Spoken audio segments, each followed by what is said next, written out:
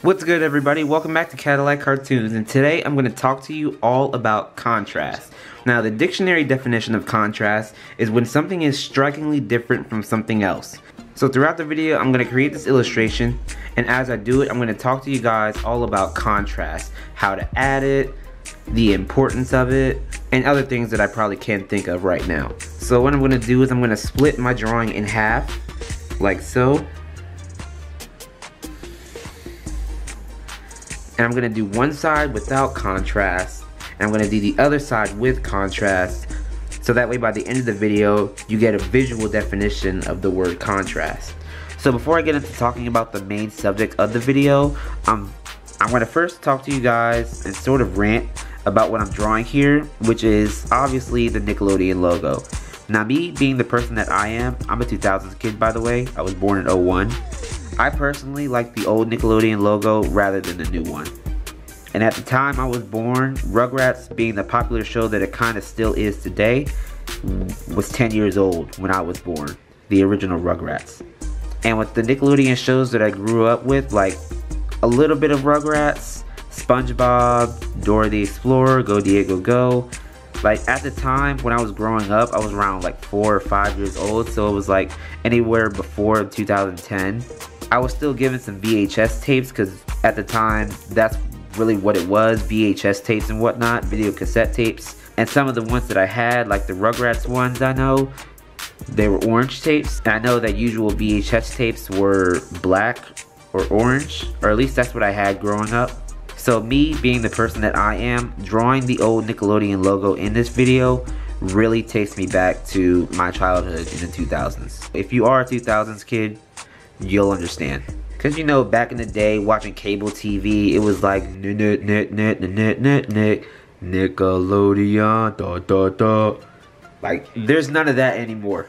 So even though I was born in 2001 and able to remember stuff like this, I kind of consider myself as a 90s kid because things that I grew up with are also things that my parents or so grew up with because at the time they were teenagers. And possibly half of the things that they grew up on being teenagers are like some of the things that I grew up with being a 2000s kid.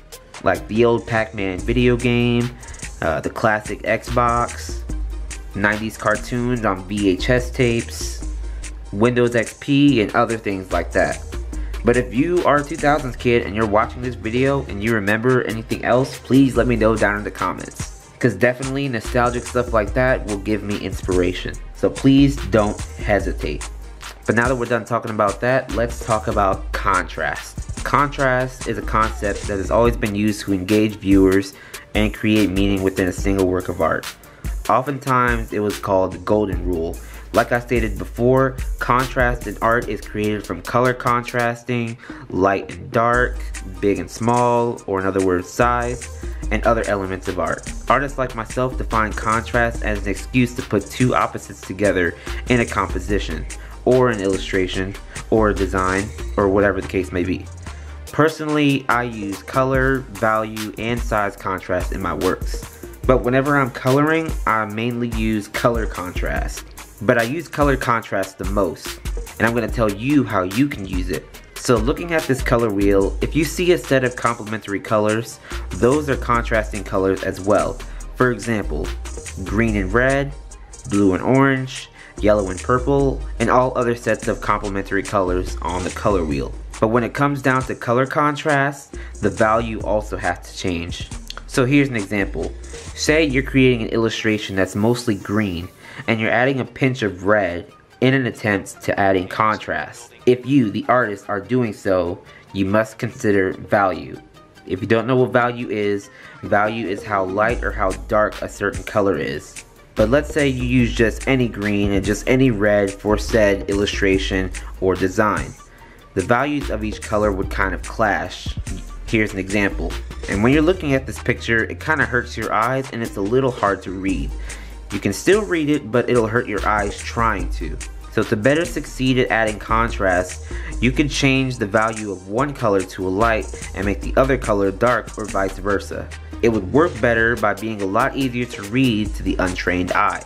But did you know that Renaissance painters also use contrast, like Rembrandt? I hope I'm pronouncing that right. He was a Renaissance painter in the 17th century who used a technique known as chiaroscuro. I don't know if I'm pronouncing that right either. But what that means is the treatment of light and shadow in a work of art. In most of his paintings, he used lighting effects to give a sense of depth. Specifically, he developed an idea to use a spotlight as a light source and the peripheries were either dark or depicted shadows. Obviously, they didn't have spotlights in the 17th century, but photographers and videographers used it to provide a dramatic effect to videos and photos. Ultimately, that's an artist's main goal when using contrast, is to create drama. Okay, now let's stop for a minute so I can talk about this process. So as you can see, I did apply some shading like about here, here, here. I think on camera it seems like very saturated from this original orange color, and that's okay. As long as there's still shading there and as long as it's visible, that's fine with me. Now I did apply a drop shadow with the grays and it's barely visible. And that right there is gonna make a big difference for when I come over here and finish coloring this side. So let's transition to this side so I can begin talking to you guys about this portion.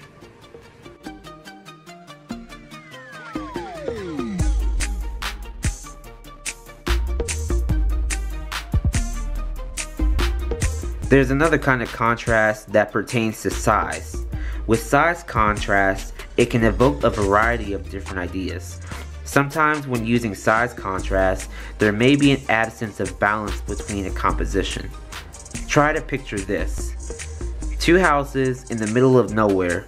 One house is small, I'd say about the size of the Blues Clues house. And the house that's sitting next to it or neighboring it would be 10 times the size because I don't want to say big, I just want to be a little bit more specific. But outside of illustration and drawing, sculptures can create size contrast. For example, there's a sculpture in Minnesota titled the Spoonbridge and Cherry Sculpture. And automatically it creates size contrast because a reality, a spoon and a cherry isn't 51 to 52 feet wide like the sculpture is. Now going back to photography, using this photo as an example, it may be referred to as larger than life, which we can also use to describe this sculpture. But if this concept seems a little bit more confusing to you, try to treat it as a find what doesn't belong game. In some cases, if you're playing a game like that, it may involve seeing which color or which size or which texture doesn't belong. That's a short definition of it, but I hope you get it.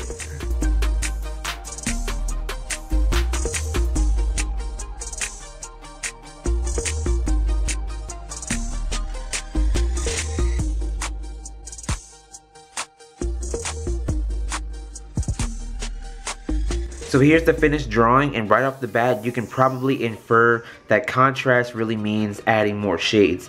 Well, you can think of it that way, but in a way it's not wrong. But to help broaden that statement, what I did on the right hand side is I used the original base color that I used for the other side of the drawing. It's the same orange, but on the right hand side where I applied more contrast, I used darker shades. And when I applied the shades, I applied a color with a completely different value from the base color that I used on both sides of the drawing. And using two colors with completely different values all throughout an illustration, that's what contrast is. So to reiterate, two opposites used throughout the same illustration, that's what contrast is.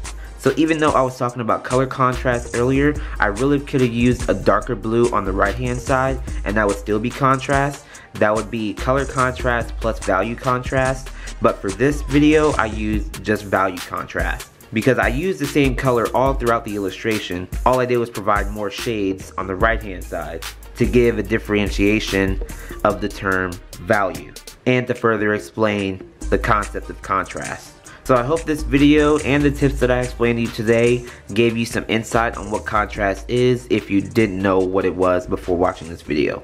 But if you did like the video or if you found it useful, give it a like and a comment, subscribe if you haven't, and tap the notification bell so you never miss an upload. And I'll see you in my next video.